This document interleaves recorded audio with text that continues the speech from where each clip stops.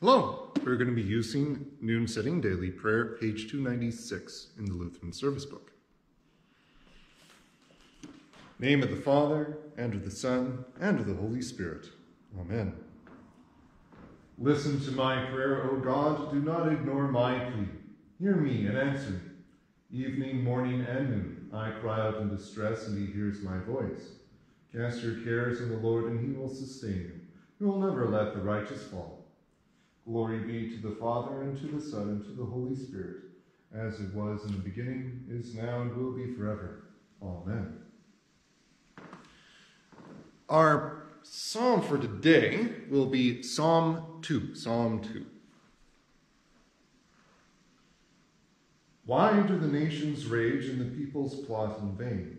The kings of the earth set themselves, and the rulers take counsel together against the Lord and against his anointed, saying, Let us burst their bonds apart and cast away their cords from us.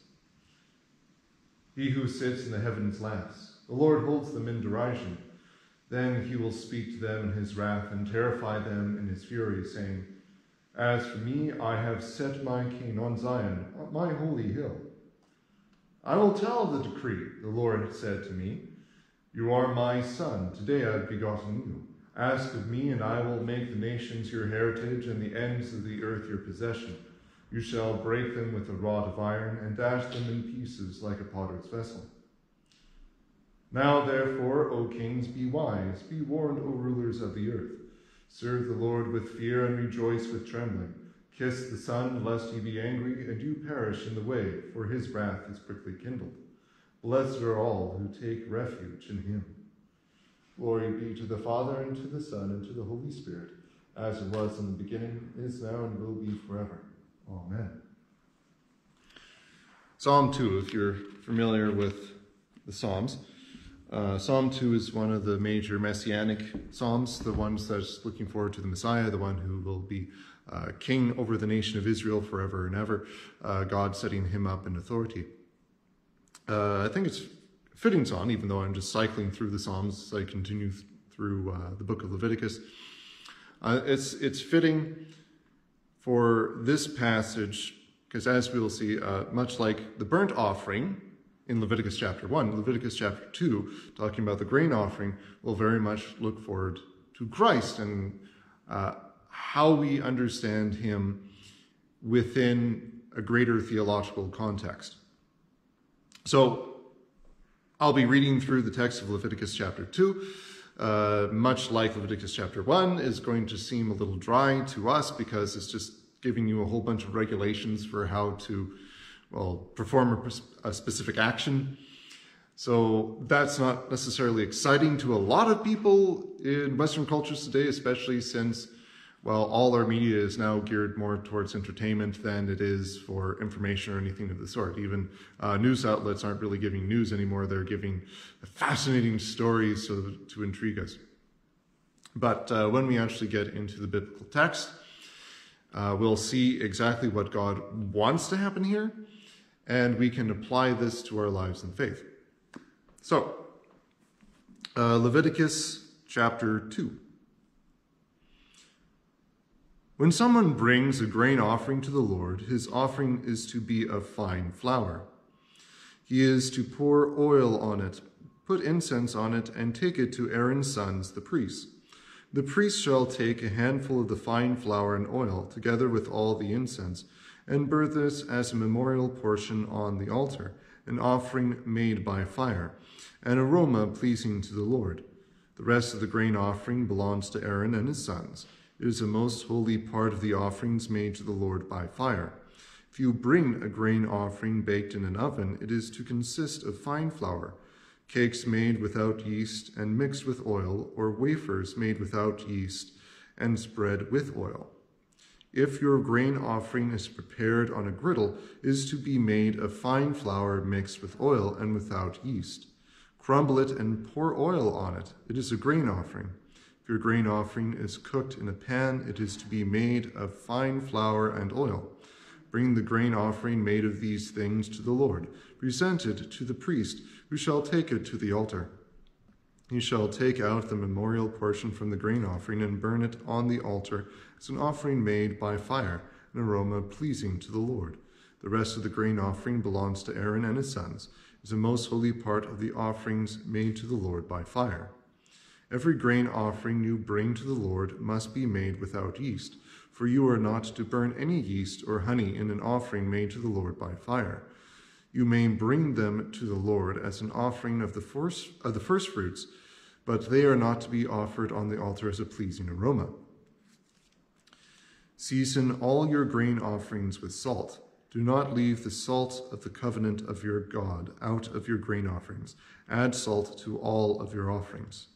If you bring a grain offering of first fruits to the Lord, offer crushed heads of new grain roasted in the fire. Put oil and incense on it. It is a grain offering. The priest shall burn the memorial portion of the crushed grain and the oil, together with all the incense, as an offering made to the Lord by fire. This is the word of the Lord. Thanks be to God. So, before we get into some of the theological implications of the text, I really want to go through what's actually being done, what's the bare bones of this, and some of the uh, immediate meaning, meanings to the text, because you can read Leviticus on a number of different levels. There's the, well, well, the practical level, what are you doing? There's more of the ceremonial level, so what does this mean in terms of the overall rite, the, the uh, religious ceremony?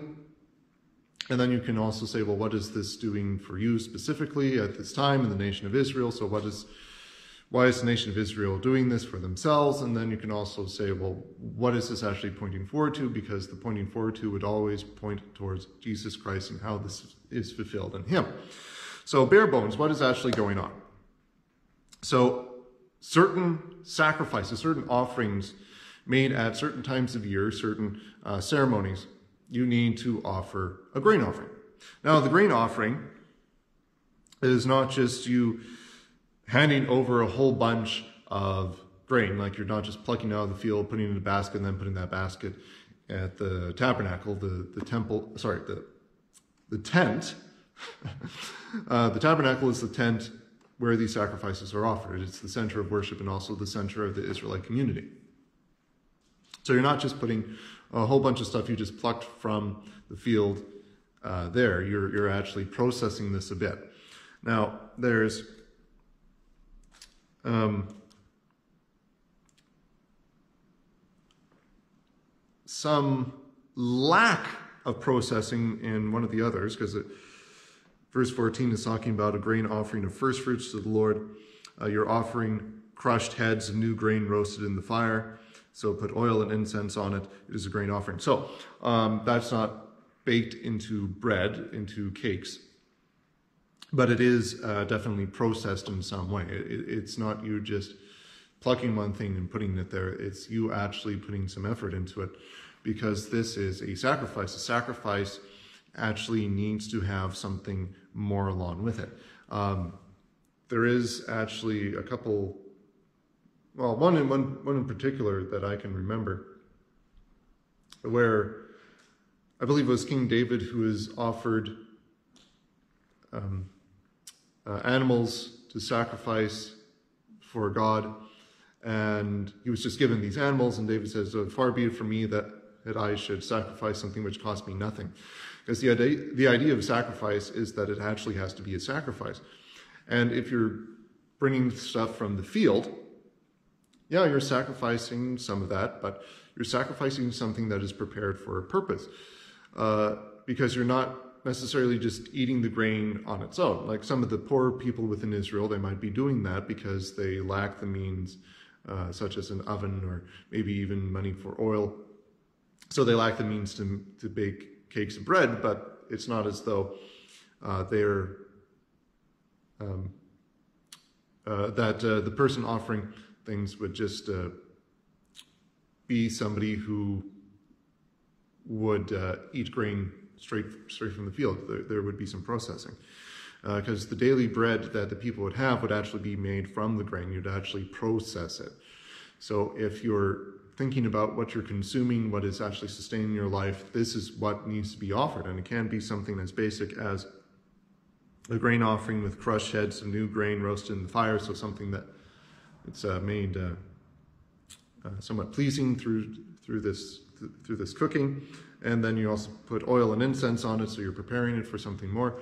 Um, yeah, th- this is not just you offering bare grain. This is you offering something that you would normally eat, similar to the animals, where you're not just burning an animal alive, you're actually cutting this apart and offering the individual part separately.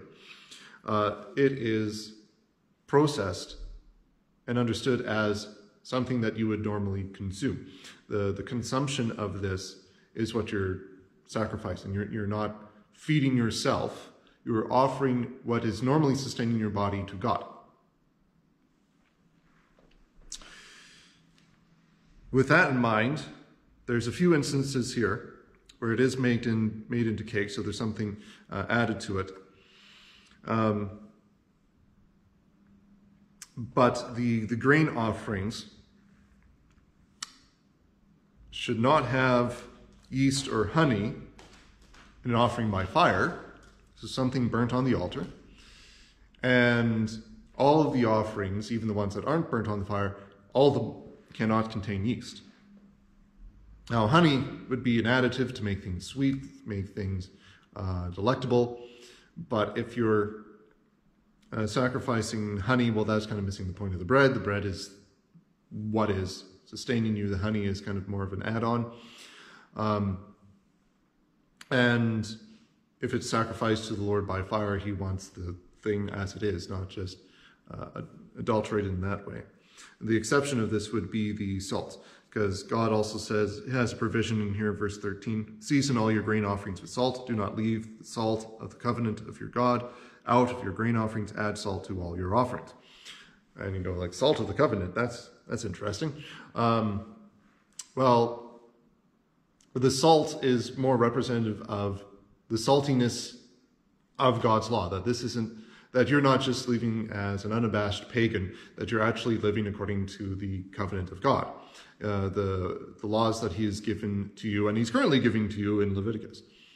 So you actually are seasoned yourself. You're made tasteful by having God season you. You are not unseasoned, you're not just raw, you actually have God in your life in the New Testament, you can sort of connect this to a couple instances where Jesus is talking about uh, disciples being salt.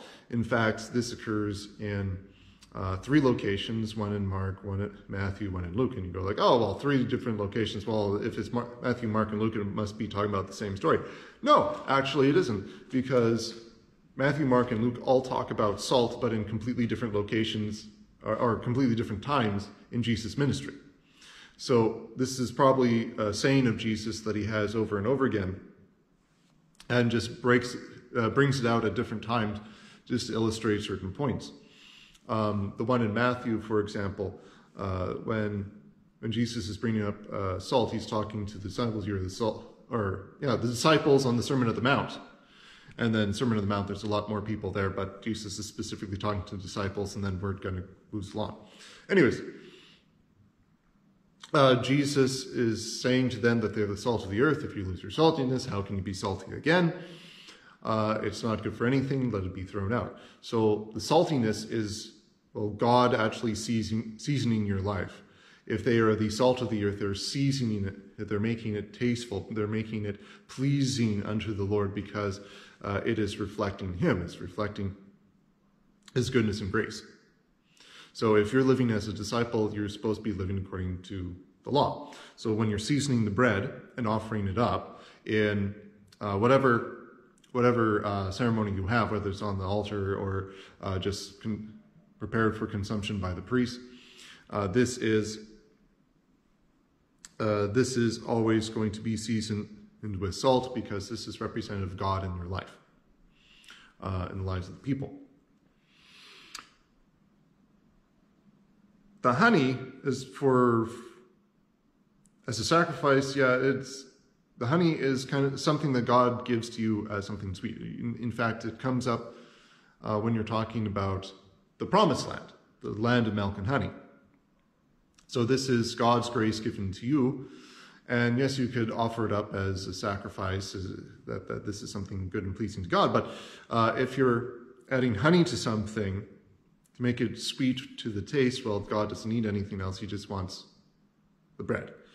Because the bread itself is representing more the people, the nation. Um, uh, when we're talking about bread in the New Testament as well, we're not just talking about, well, a meal. We're talking about something that sustains you, something that gives you life.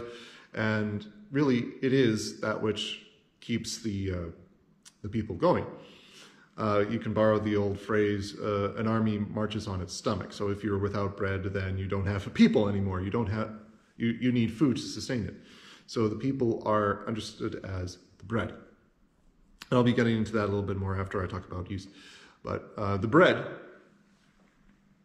or the grain offering, in, it's made into cakes or not made into cakes, the, the grain offering is representative more of the people, who they are, and their lives. So if you're offering it on the altar, you don't need to sweeten it because if you're trying to sweeten it, then you're trying to say, well, I'm doing a little bit extra for God in my sacrifice to Him. You don't need the extra sacrifice. He, he just wants you. So if you're preparing anything with honey, it can't be offered uh, on the altar with the fire because God doesn't need it. But you can definitely give that to uh, your neighbors, na namely the priests, because that would be delightful for them. God doesn't need it, they might like it. And if you're and if we're viewing this as something added on, something sweeter, well, you can also say, well, maybe it could resemble good works. I'm not saying it does, but if you, but we can think about it as well. If you're adding something to our offering of ourselves to our neighbors, such as the priest, well, then you're offering uh, your good works in service to them, so they would actually enjoy this. So you're not just offering yourself, but you're offering um, more than what is expected of you. This is how good works actually work, where God doesn't need our good works. We're not giving anything to Him by having good works. We're not depriving Him of anything by withholding our good works. God is not hurt or benefited by our good works. He is himself infinite, he has all things, so we cannot add anything to him, nor can we subtract it. If we're looking to good works, good works are for the benefit of our neighbors and also ourselves to a degree. Because if we're doing good works, such as like in the uh, first table of the law, where we're looking to having no other gods before us, if we're looking to not misusing the name of the Lord, if we're looking to remember the Sabbath day, well, these things are how we have a proper relationship with God, of course, but in having a proper relationship with God, we are actually benefiting from it. Because if we are living according to the faith, then we will receive the all the blessings of the faith, namely like remembering the Sabbath day. Well, then we get the Sabbath rest, contemplation on God's word, and remember that we all we are the salt of the earth, and we have all these blessings of God. So this is good for us to contemplate and even to respond um, with sacrifices of praise and worship. For, for uh, the second commandment, do not misuse the name of the Lord. Well, the name of the Lord is given so that we may call upon him in prayer, praise, and thanksgiving. So always praying on the name of the Lord. This is again for our benefit. Like God is not benefited by our prayers. We are the only ones who can benefit by our prayers. Uh, namely because when we pray to God, we are living in the relationship of faith and he is actually listening to us. So when we pray, God's grace is given to us. Not that we're doing a work of prayer in order to receive grace, but grace, eh, sorry, prayer is naturally flowing out of faith because this is just what we do. If you're in faith, you do this. And having this living relationship with God, God gives you grace upon grace. So you don't work for grace, but God still gets it. Is my, is my point. Anyways, Uh, but also having God's name upon you means living as a Christian. Christ's name is upon you as a Christian.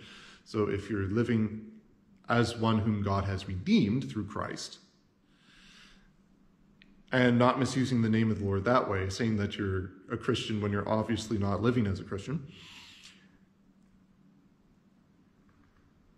Yeah, uh, uh, living according to God's name will actually benefit you again, because even though uh, you're doing works in that sense, you're following the law, you're not experiencing any harm from violating the law, living an unabashed pagan lifestyle, uh, which is free to harm you in a in bodily in a bodily manner or spiritual manner, psychological manner, mental, etc., etc., etc. And um, the first commandment, you shall have no other gods. Yes, this is the ultimate one, the one that's pointing you in the proper direction. If you do have other gods, then how can they save you? So, uh, yes, following the commandments, you actually benefit. With the second table of the law, the commandments looking to your neighbors, you are now treating them properly. So, you know, the ones who are benefiting by your good works according to the law. So this is what I mean when we're talking about good works, which it does not improve God, nor does it detract from him, but it can only help to serve you and your neighbors. This is why God has put forward the law so that all, all of creation may work together for all creation's benefit. That's why we have good works, is so that everybody may live in God's goodness and grace as he originally designed the world to be before it fell into sin. So God does not need honey, your neighbor might. but the yeast, the yeast is something else. Because if we're talking about yeast, yeast is that which rises, okay? And you only need a little yeast and it will leaven the entire lump. All the, the, the bread that you have, it will, it will rise completely, and you don't need that much yeast to do it. Um, yeast itself is the bacterial component. It's creating um, uh, gas within the bread, which is what causes it to rise uh, in heat. So we know this chemically, but what does this really mean? Well, it's actually representative of sin. And when Jesus is talking about uh, yeast in the New Testament, where he's the one who says, a little yeast leavens the entire lump, uh, he is speaking about sin. And at that time, most notably the, the sin of the Pharisees. So you, you have the Pharisees having this little sin where they're at, and then the entire nation of Israel kind of blows up with this particular hypocrisy that the Pharisees have. So Jesus when he's doing his ministry, he really needs to war against hypocrisy because uh, through the teachings of the Pharisees, it spread everywhere and people have misunderstood God's law. So Jesus has to correct this whole thing. But it's representative of sin also, where it's not just the hypocrisy of the Pharisees, but it's our own personal sin. So if you have one little sin, it can balloon to, well, gigantic proportions because if you have one sin, then you're broken off from the rest of God's law. You're broken off from God himself, violating the first commandment, because if you have other gods, but you have sinned against God, well, you're redirecting yourself away from him to head to look to yourself, making yourself your own God, your own lawgiver. And you have now corrupted yourself completely because now you've you have a broken relationship with God. This was what happened in the fall in the Garden of Eden where there was one transgression, eating the forbidden fruit. And eating fruit doesn't sound like a big sin. In fact, most people eat fruit all the time. But it was that specific fruit which God had commanded not to be eaten. So there was a violation of God's command. People, desi- uh, Adam and Eve desired to be God, uh, God of their own lives, and they fell away. They completely destroyed themselves. They fell into death that day uh, because they had eaten of the fruit. Uh, they died spiritually, and by the grace of God, they wouldn't die physically immediately, but that would come later on. Now, uh, with uh, with us, we can also conceive of small sins, maybe even white lies, and then these can balloon out of proportion. Uh, with with a scriptural example, um, usually this is related to coveting, and there's a two two major passages where we talk about coveting. One would be uh, Naboth's vineyard. Naboth was a faithful man to God. He had a vineyard. Uh, King Ahab desired this vineyard, coveted it, and uh, he basically allowed all sorts of horrible things to happen in order to obtain it. So this one sin of coveting kind of ballooned out to really destroy the rest of uh, Ahab's relation with God. Of course, it was all, King Ahab was also a terrible guy, so it was all it was ruined beforehand. But yeah, God, after after this event with Naboth, declared that Ahab would die. Uh, it was not pleasant. Uh, King David, also with Bathsheba, uh, King David coveted, lusted after this woman that he saw uh, bathing herself, and then after after that he broke basically every other commandment, uh, where um, he actively committed adultery with her. Uh, when he found out she was pregnant, he tried to get her her husband to, to have relations with her so that they could claim that he was the father of the baby when he wouldn't because he was too loyal to King David. David betrayed him, um, kind of deceived the nation in, in how he killed, had this one guy killed, so, so he was also at fault for killing. Um, then he took his, um, uh, Bathsheba for himself, so he's kind of stealing her away as well. Uh, many, many things. Uh, if you want to go through the entire story, you will find that David basically breaks every single commandment.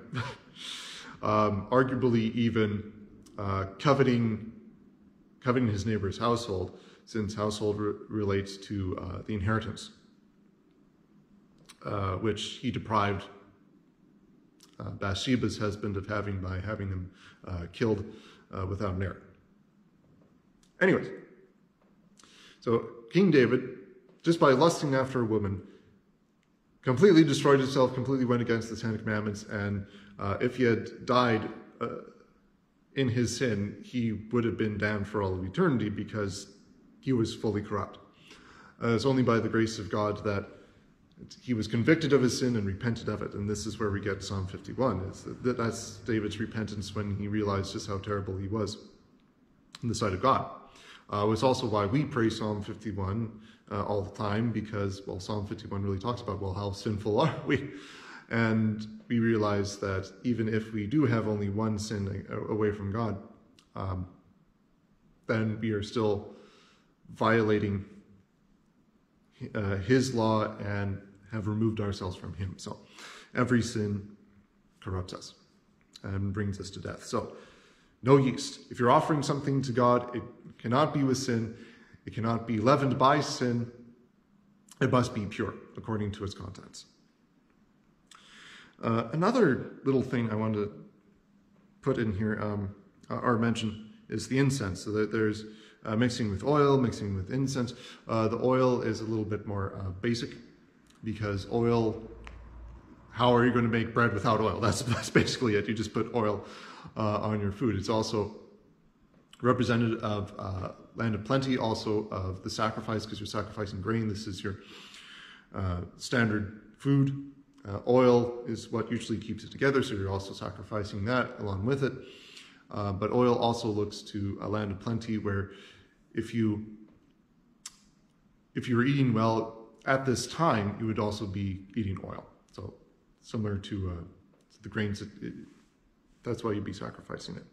Uh, the incense, though, that's interesting because you don't normally want to eat incense. You don't necessarily want to eat that particular spice uh, when you're doing that, uh, when you're eating food, because it's not made to be a spice per se. In fact, this is a particular type of spice that God had, or, yeah, well, I guess you could say spice, but specific type of incense that God had uh, declared the people to make specifically for worship at the temple. So this actually happens in the book of Exodus where God is giving a whole bunch of commands for proper worship with him. The incense is of a very particular kind, and it is basically de- designating this food for a very specific purpose, which is sacrifice in holiness. So everything related to this incense is for a holy purpose. Okay. Next up, Aaron and his sons. They're mentioned many, many times here. so what's up with that? Um, why do you why do you have Aaron and his sons being mentioned many times? Well, Aaron is the high priest at this time. He's the first high priest of the nation of Israel. But he's also going to be the father, uh, according to God's own command, of all the other high priests. So when Aaron and his sons are eating these things, this is really referring to the priests in general, but also a little bit more specifically Aaron's household, because we're looking to this uh, sustaining the priesthood. Now, for very practical purposes, this is how the, the the tribe of Levi and the nation of Israel actually sustains itself because uh, the tribe of Levi is designated to be a land of priests. They don't, or a tribe of priests, I mean, they don't get any land. Uh, in the, in, when everybody settles Israel, because they're supposed to be scattered everywhere, they have their own small little communities, but they don't really get their own particular land. This is because they're supposed to be acting as the intermediaries between God and man at this time. And uh, they are supposed to be for the rest of the tribes of Israel. So they're kind of set apart for a holy purpose, uh, not just tilling the field. For, for them, though, this means that they completely depend on all the offerings made to the temple because if you don't have any land, how are you going to sustain yourself with food? You're just not. So they're dependent on the sacrifices at the tabernacle and then later on the temple in, in Jerusalem because certain uh, sacrifices allow them to eat the contents. So with certain uh, sacrifices of animals, they can eat parts of it. With certain with with certain grain offerings, they can eat the grain offerings, and this is really how how they can live, how they get their wages is by working as priests in the nation of Israel. So uh, their situation is actually a bit, little bit more precarious than some of the other tribes because the other tribes, well, they can always fall back onto the on their land, uh, on farming. Uh, during famines is a little bit hard, of course, but they always have the promise that God gives them that He will give them blessing in the land. The priests are in a little bit more precarious position because they don't have any land where they're receiving this. What they actually have is they have all the people in the land giving them stuff. If the people are unrepentant, if they're not living according to God's commandments, then they do not eat. So you do also have a little bit of motivation for the priests to try and uh, get everybody to live good and holy lives. Uh, but the basic, the basic understanding is that they are completely dependent on God for their livelihood. Now, if you talk to farmers, of course, they would also say the same thing. They're completely dependent on God to give the right conditions for them to grow crops so that they can live. Uh, farmer, if you have a couple good crops or a couple good uh, years out of about uh, eight or nine, I think it is, then you'll be able to feed yourself and your family. But you recognize that if something turns south, well, they they might not survive. The family might not survive. They may have to give up uh, their land and their farm. In fact, this is one of the uh, main themes in the book of Ruth, is uh, where people are separated from their land and they just because of famine and they just uh, can't live. So they need to depend on God even more at that time. Anyway, so this is also why we have consumption by the priest. But what does this really say going forward? So I talked quite a bit about, well, uh, what's actually going on. So you have people giving, sacrificing their daily bread to God at the temple, the, uh, made with various forms. The priests are actually eating this. Uh, We also have kind of more the ceremonial aspect of this, where it's sustaining the priests as well as uh, offering sacrifices from the understanding of the people. Uh, we'll get into all the particulars of the various reasons where you give a grain offering as we continue throughout the book of Leviticus. I won't go through all the festivals here, but it is, I'll mention the festival of first fruits a little bit later on. So, next level. Theological implications. So I talked quite a bit about, well, why are you giving this specifically? The, the bread represent, or the grains uh, prepared as cakes or as uh, crushed heads for a first fruits offering.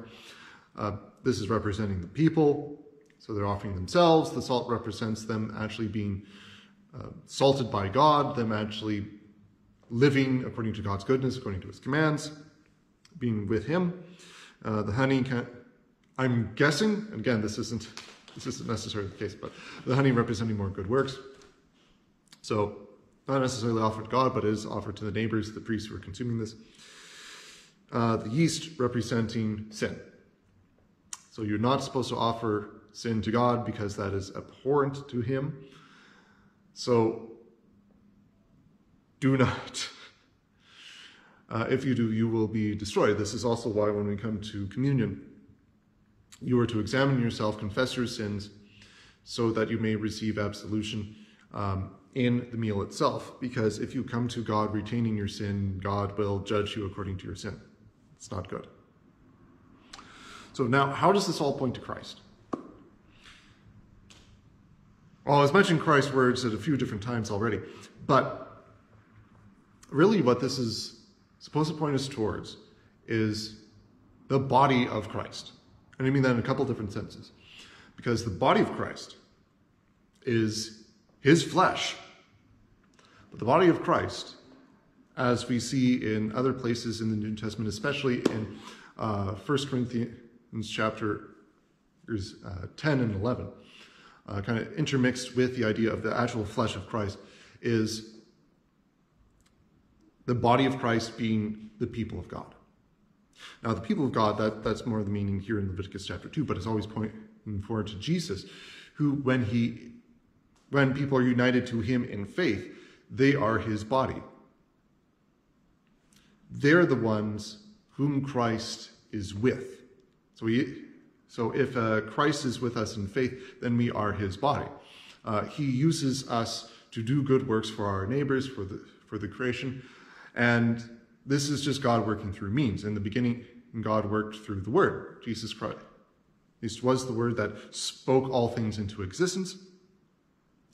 So, using the medium of a word, the creation existed, and now he's sustaining the creation in a very different sense by coming to us so that we may be his body and help one another as, uh, as he directs us to do. So, as Christ would save and help others, so we are to save and help others uh, always professing the word of Christ so that they may be recreated in Christ and brought to faith. but the important aspect is also Christ's own body. This is this is his flesh given to be consumed by the people.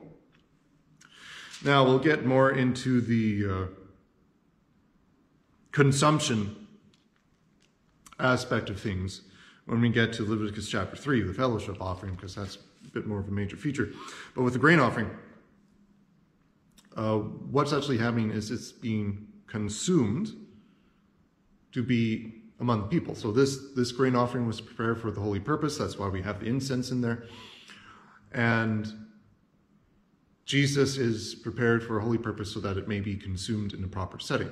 Uh, the, the way that this works out throughout salvation history is that it was reserved for the priest, but it moves out to the people, especially when we, we talk about communion. 1 Corinthians 10 and 11, which is using the body of Christ not only as the people, the community of faith, but also the body of Christ as the actual body of Christ offered in the bread. But I'll talk more about that um, when we when we move on. What I want to focus on here a little bit more is uh, and I mean like move on in, in the book because grain offering comes up again. what I want to talk about here a little bit more is uh, Jesus being the bread from heaven. So Jesus declares this, John chapter 6, and he explains that he is the bread of, heaven. If anybody feasts on him, then you have eternal life. So Jesus is the bread. When you're offering grain in form of bread or, or the uh, crushed heads of new grain roasted in fire, what you're doing is you're offering Christ in your place. Much like with the burnt offerings in Leviticus chapter 1, where you're offering an animal in your place, a sacrificial animal in your place, so that that animal dies and not yourself. The grain offering is that which is burned and consumed instead of you being consumed by the fires of God, the judgment of God and its punishment.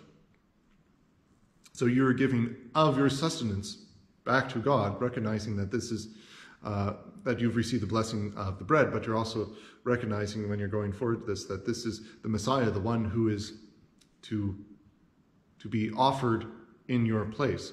He is the one who sustains you. Yes, uh, he is also the one who's sacrificing your behalf. But yeah, more importantly, he's the one who sustains you in the faith. Because if we're talking about bread, well, this is more easily sh shared with other people. Uh, in fact, grain offerings, large portion of it is expected to be consumed by the priest, consumed by the people. So Christ, when he's talking about, I am the true bread that has come from heaven, is really pointing to, well, how have you fed in the past? Where is your sustenance? If your sustenance is just bare bread, well then, as bare bread perishes and, and, and is destroyed, so too you will perish and destroy, be destroyed in death. But Jesus, as the true bread from heaven, he is the one who feeds you unto eternal life. Feasting on Christ means that you are without fear of death. He is the one who sustains you. And of course, this is manifest in the Lord's Supper, uh, but this can, can also be done through faith. John chapter 6 is more about a spiritual eating, spiritual consumption of Christ. Uh, John chapter 6 is definitely pointing towards the Last Supper, pointing towards uh, communion, but we're also feasting on Christ spiritually through faith. When Christ comes to us, uh, when he declares himself to be, the, to be the bread of life, we have to we recognize that our sustenance isn't in the things of the world, but it's in heaven. It's the one who has come down from heaven so that we may be saved.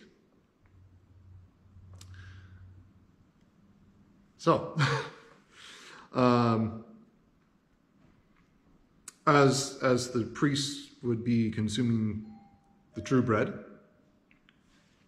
and being sustained in that way as a holy gift of God, so Jesus Christ as the holy gift of God to us actually sustains us as the true bread. Amen. Uh, let us continue, page 296, with the Kyrie. O Lord, have mercy upon us. O Christ, have mercy upon us. O Lord, have mercy upon us. Our Father, who art in heaven, hallowed be thy name. Thy kingdom come, thy will be done on earth as it is in heaven.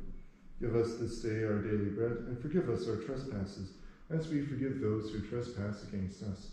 And lead us not into temptation, but deliver us from evil. For thine is the kingdom, and the power, and the glory, forever and ever. Amen. O Lord Jesus Christ, who bread from heaven, feed and sustain us in our walk of faith in this life, unto life everlasting. Amen. And Heavenly Father, send your Holy Spirit into our hearts to direct and rule us according to your will, comfort us in all our afflictions, to defend us from all error, to lead us into all truth. Through Jesus Christ our Lord. Amen. Let us bless the Lord. Thanks be to God.